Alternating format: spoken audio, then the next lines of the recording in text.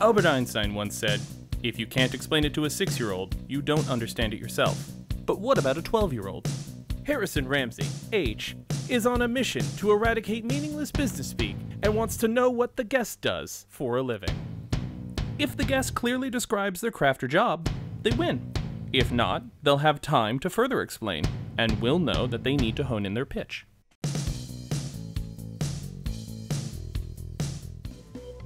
Hi, I'm Dr. Carolyn Lawrence. I am an instructor at Chattahoochee Technical College and I teach humanities, and I'm also a poet and author.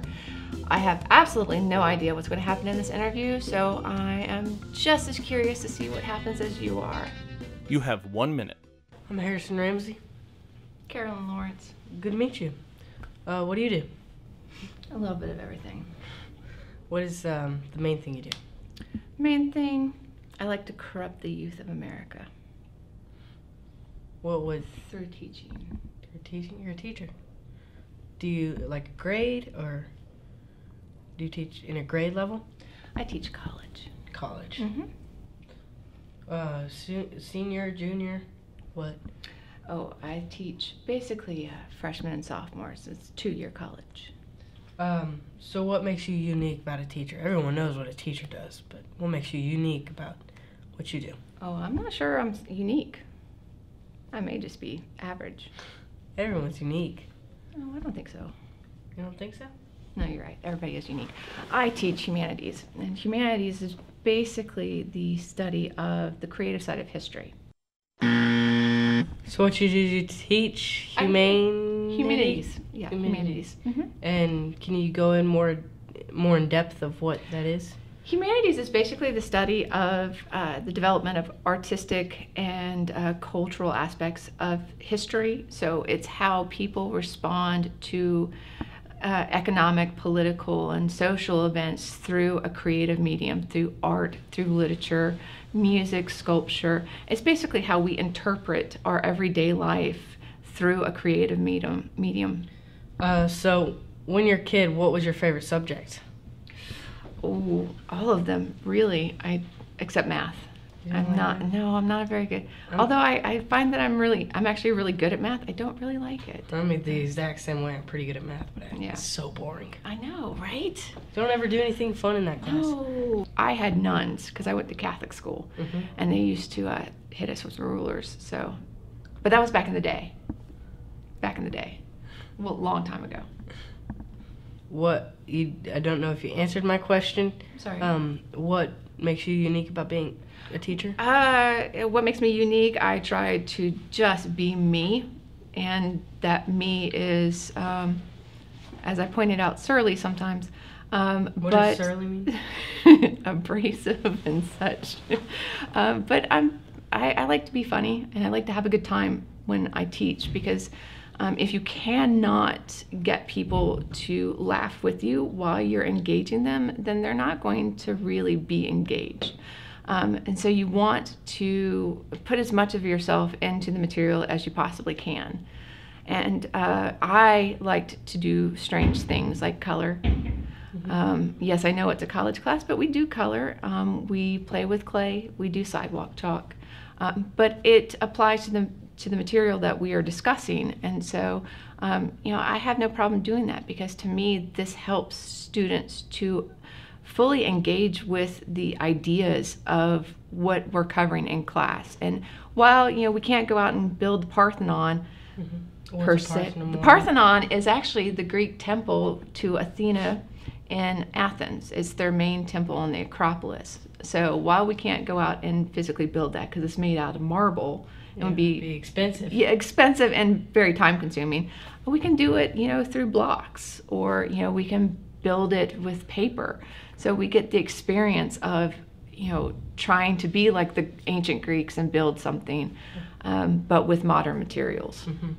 I'm sure it'd be much faster building that now. yes, than, than and and nobody really dies in in those cases. So, you know, maybe somebody gets a paper cut. That might be the worst injury. So, Um, so what are some pluses about your job? I get to meet some really fantastic people. I have some really great students. They're terribly creative and they're terribly clever, and I'm completely envious of some of them because they're really, really talented. Um, and it makes me happy to see that I can um, encourage them in their artistic mediums.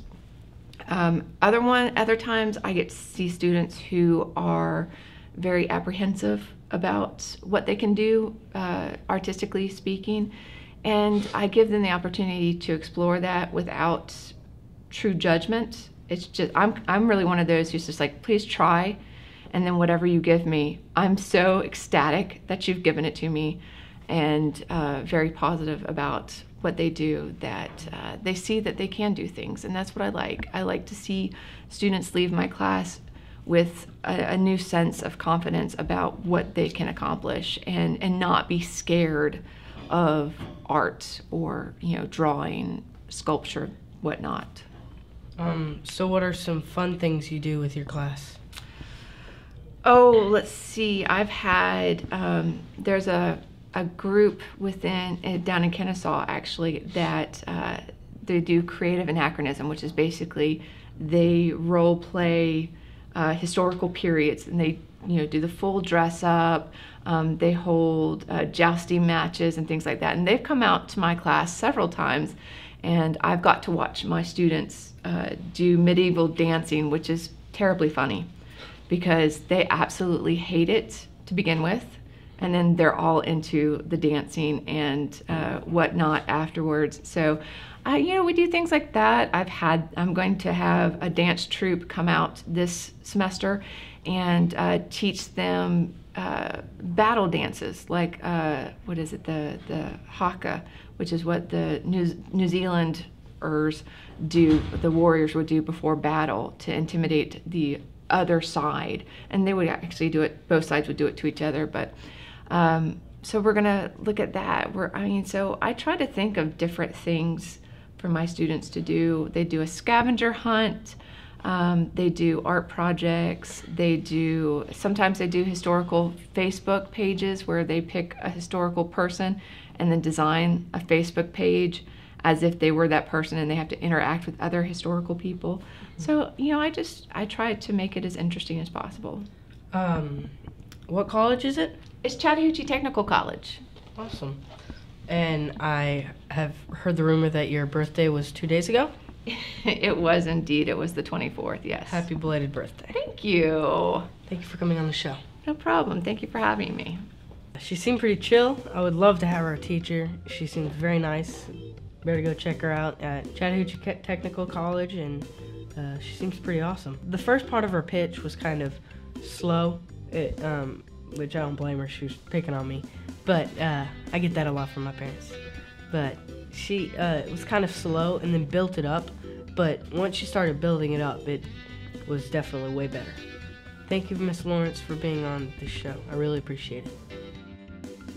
Honestly, I had no expectations because I really wasn't sure. I just knew that this was an interview and that I was going to be interviewed by a 12 year old, and that was it. So I was just kind of really willing to to go with it and um, and see what happens. It was quite enjoyable experience. Um, very intelligent young man, and uh, you know, it's it's like when I go into my classes on the first day, I have absolutely no expectations of who's going to be in there or um, you know, I just I allow them to dictate what happens and, and what I end up expecting out of them, uh, particularly after the first day, because uh, for me, I base my judgment after I've met somebody and allowed them to, you know, uh, engage with me, and that's what H did.